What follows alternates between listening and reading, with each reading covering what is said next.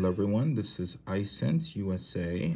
This video is a quick tutorial of how to use CareSens N blood glucose monitoring system.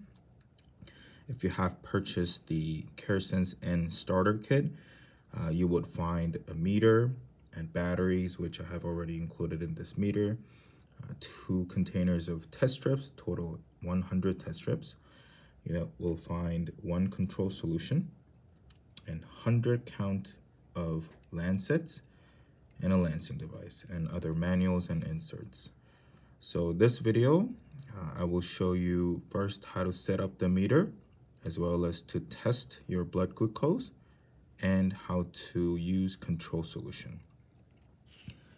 First, let's get on to how to set CareSens N for your use.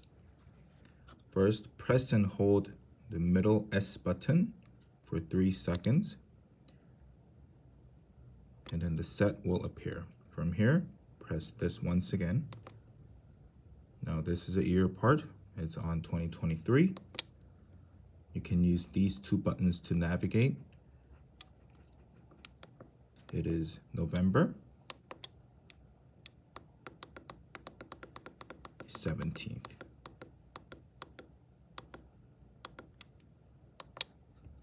The way, to select your choice, you use the uh, S button to select. You have 12 hour system and 24 hour system. I will go ahead to uh, 12 hour system. Our current time is 10.55 a.m.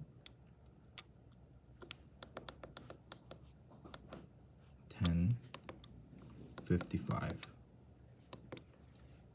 Beep basically means uh, this meter will uh, react as a beep sound whenever you press a button or insert a test strip. I will keep it on for now.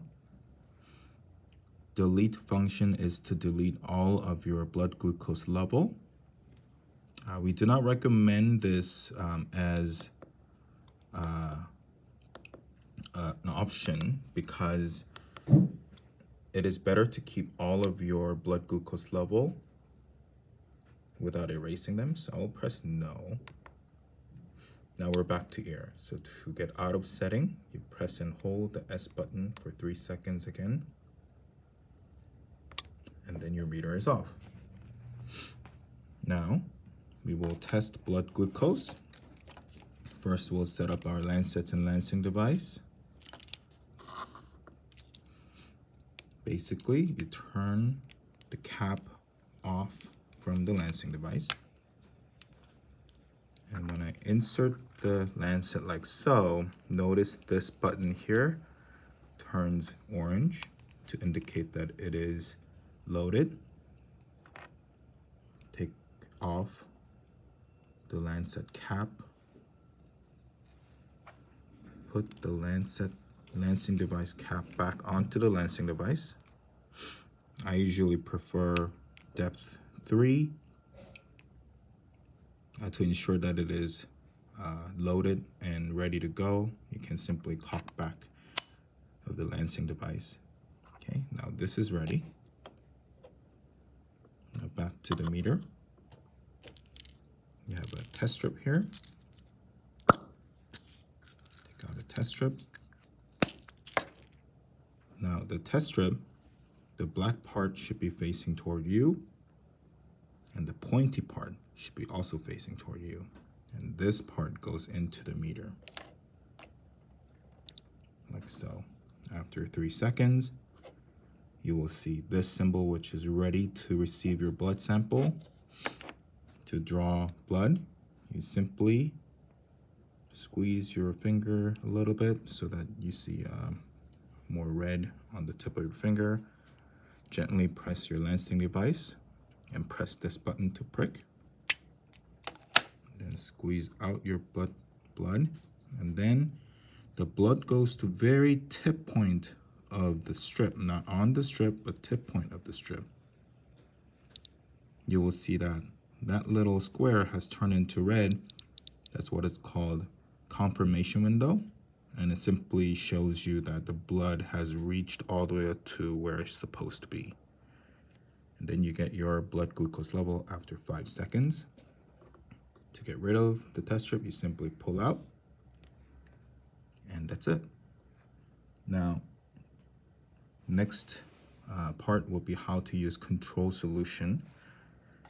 Control solution is not a calibration tool. It is simply to make sure that your blood glucose uh, test strip and the meter works properly. To give you a brief summary of it is that if you look at your test strip vial, you will see control A and control B, and then you'll see two ranges here. This is control A. So when this meter and test strip measures and shows a result on the meter, if it's within this range, which is 120 to 162, that means your meter and test strips are working properly.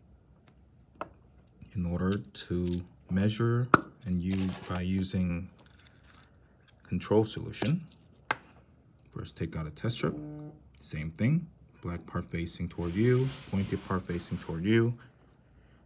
Insert the test strip. Now you have the control solution. Just shake a little bit because the control solution is essentially a uh, sugar water. And if you have it sit in one spot for too long, then the sugar will basically accumulate at the bottom and then you may have a wrong result. So shake it Put the cap on the table. Squeeze a drop. And then simply put the test strip tip onto the control solution. You will see 140. Again, the range says 120 to 162. 140, so it is within the range uh, to record as control solution, you basically have to press this down arrow button for three seconds after the result is shown while the test strip is in.